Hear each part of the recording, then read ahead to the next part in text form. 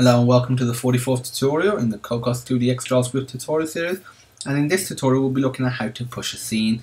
Pushing a scene, this can be useful in a game if for example you're on a game screen, pretty much any sort of game you've played and you click the pause button. Instead of replacing the actual scene you're on it just pushes a new scene on top. So the current scene which will be the game scene is halted temporarily. So the update and the draws are halted and it draws and updates the pause screen. So when you click resume, what you've been doing in the game screen is currently still there, so you don't have to keep track of it. Basically, Cocos2d-x does all that for you, and quite a lot of other game engines will.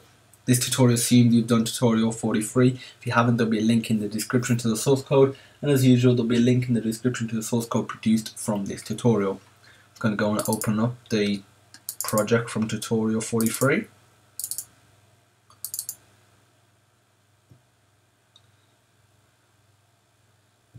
In tutorial 43 we created a new scene, just call it new scene, and we also modified the current scene with having a global variable called initialize my app which is initially declared to false. And at the bottom when you enter the scene it checks is he has it been initialized, if it hasn't then initializes it but it sets the initialized variable to true. In the new scene we have a similar method because obviously we just copy and pasted it. But to be able to use the new scene, you want to go to the main.js and just add it as an app file. We just do comma, um, and then inside you want to do source forward slash new scene.js or whatever it is called. It doesn't really matter. There you go. That's all you want to do inside the main.js. And you want to go back to the myapp.js. And here we're going to create a menu. First we're going to comment out the sprite itself. So this doesn't get in the way. I'm going to create a menu item first. So var menu underscore item underscore one equals cc dot menu item font dot create open close bracket in here. First we specify what the actual item says. So it's going to say play. Then we put the actual callback function. So it's this dot play which we'll be created in a moment. And then we specify the target which is this. We create a menu. So var menu equals cc dot menu dot create open bracket menu item one close bracket semicolon and do menu dot align. Mm, items vertically. Just let it automatically position it. Because this tutorial isn't about menus just putting a menu in there to be able to illustrate pushing a scene. This dot add. Child open bracket menu close bracket semicolon.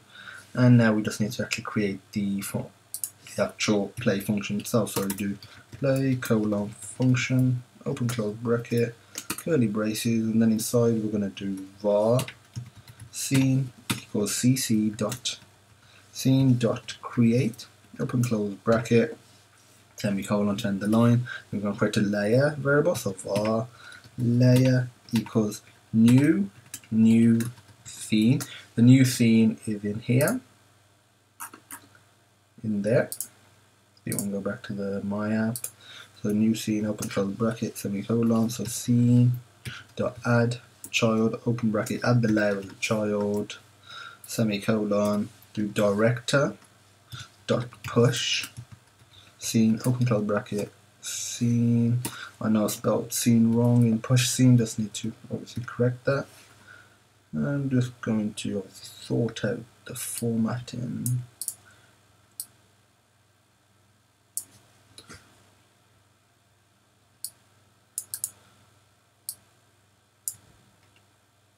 today.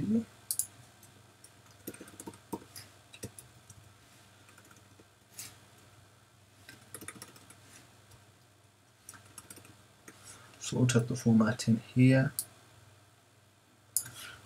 You may be wondering, we've called this director push scene, but anywhere in here you can't see the, the director variable. That's because it's not actually in here. If you go to main.js, it's declared here var director equals cc.director get instance. And because it's part of the app file because when you run your code and if you go to the appdelegate.cpp it calls the main.js when you actually run the application. And then it goes into here gets the basically all the files that you want the resource file. We haven't done anything with it. It's just there by default. You can delete it if you want to. There's a my app and then a new one that we put new scene.js just requires all the files that we need. That's the reason we need to put it here. And and then it just sets it to 60 frames a second and it's set to display stat statistics which is also like frame rate how many objects you got etc but then it just actually runs with this scene. You only do the run with scene once so that's the one you want to run with it originally. Afterwards you do push pop replace those sort of functionality. If you go back to the myapp.js everything here should hopefully work now if I just click play You'll see a menu with a play button. I click on it. It will take me to the new scene.js, which will have a sprite.